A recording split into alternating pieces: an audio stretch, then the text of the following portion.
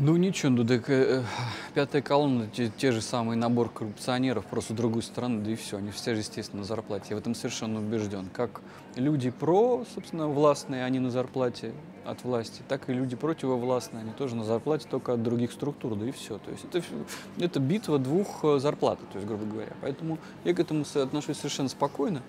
То есть пятая колонна всегда будет, потому что Россия большая страна, когда 2% населения – владеет одной шестой частью суши, никогда в жизни в этой стране никому не будет жить спокойно. То есть это абсолютно совершенно очевидно. Все мои друзья, которые говорят, о боже, нужно это кошмар, нужно что-то делать, это же как же жить в этой стране. Я говорю, ребят, если хотите жить спокойно, чемодан, вокзал Европа, попробуйте, если найдете себе там место.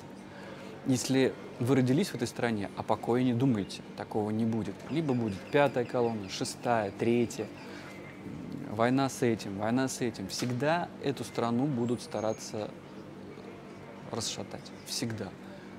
Ну, либо меняйте страну, либо будьте готовы, что так будет всегда. Поэтому ее бояться не нужно, она всегда будет, эта пятая колонна. Но просто нужно более как-то жестко к этому относиться. Всегда, когда пятая колонна приходила к власти или что-то сметала, всегда были смутные времена. Это вот уже совершенно очевидно, совершенно понятно.